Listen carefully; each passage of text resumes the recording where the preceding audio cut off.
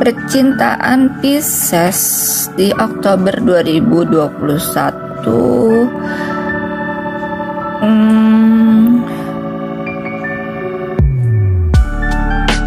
setelah terjadi sebuah kegembiraan ada perubahan di sini.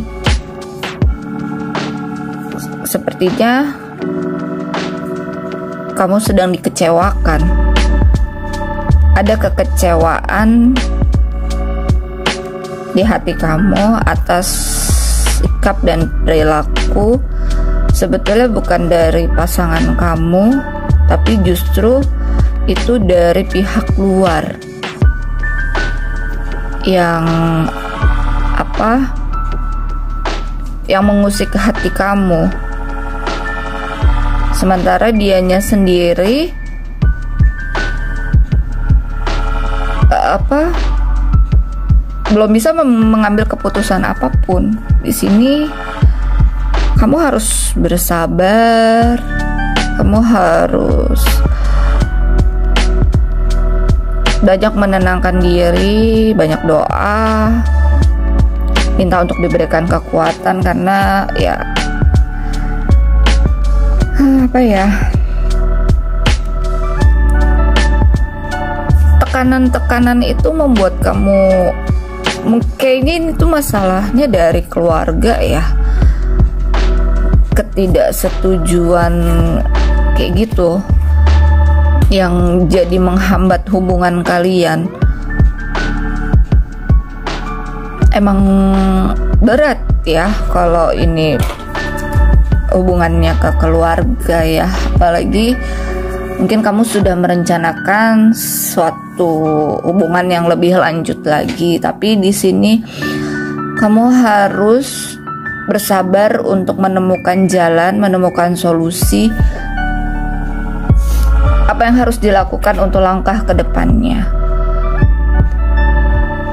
Untuk urusan yang berkaitan sama keluarga, sama orang tua, memang nggak nggak mudah. Butuh waktu. Kita coba lihat, buka dulu kartu love-nya.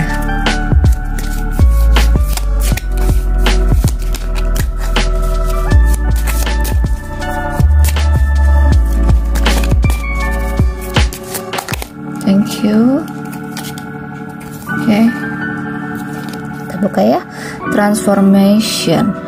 Your relationship with one another is about to deepen. Love, conquer, and transform all things. Oke, okay, di sini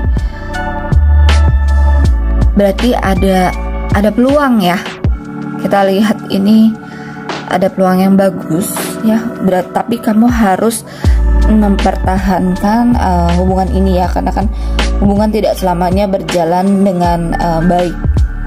Cinta membutuhkan uh, apa namanya cinta ini butuh untuk ditaklukkan untuk dirubah gitu loh mengubahnya dengan hmm, mungkin kamu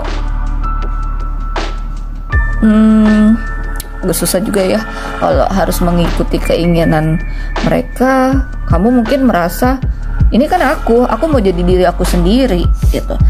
Tapi nggak ada salahnya sih kalau kamu lihat yang saran yang baik-baik misalnya kalau misalnya uh, belum kamu muslim dan belum berjilbab mungkin um, bisa mengikuti dengan kalau memang belum benar-benar bisa berjilbab ya uh, sedikit dulu lah berkerudung yang kerudung yang tertutup pakaiannya mungkin seperti itu mengubahnya. Emang harus ada pengorbanan. Gitu. Yuk lanjut ke ini. Forgive forgiveness. Forgiveness. Stop focusing your energy on past event. For life to For life is too precious to waste. You create your reality by what you think, dream, and imagine. Ya, kamu stop berhenti untuk memikirkan membuang-buang energi kamu memikirkan yang kemarin-kemarin. Sekarang fokus kamu untuk melihat ke depan membayangkan uh, bahwa ini dapat terselesaikan dengan baik. Jadi yaitu terapi menyatukan hati pikiran dan perasaan agar terus positif ya harus diterapkan di sini. Walaupun sulit jalannya ya tapi di sini masih ada peluang kesempatan yang akan terbuka gitu loh. Dengan kamu mau mengubah dengan kamu mau uh, berkorban dan lihat ke depan jangan pikirkan yang kemarin-kemarin. Buang-buang energi aja lihat dan pikirkan untuk masa depan ke depannya seperti apa.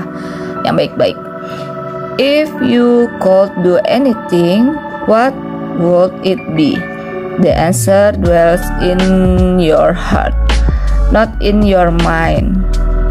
Itu ada di hati kamu ya, bukan di pikiran kamu. For the heart is the gateway to the soul. Jadi dengarkan hati kamu. Dengarkan hati kamu untuk melakukannya. Ya, kalau emang, emang kamu cinta, kamu sayang, ya nggak ada salahnya kan berkorban. Mm, tanya deh ke hati kamu mau nggak kamu melakukan pengorbanan itu? Apakah eh, kamu bertahan itu hanya karena egonya kamu yang tidak mau tapi sebetulnya hati kecil kamu kamu mau kok melakukan itu? Coba deh kamu tanya deh ke hati kecil kamu.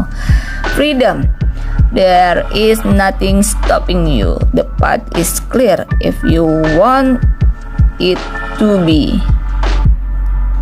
nah balik lagi kebebasan ini ada di kamu. Ya, tidak ada satu orang pun yang bisa nyetop, memberhentikan. The path is clear. If you want it to be. Ya, jelas ya jalannya. Tinggal pilihannya ada di kamu. Oke, okay? Pisces.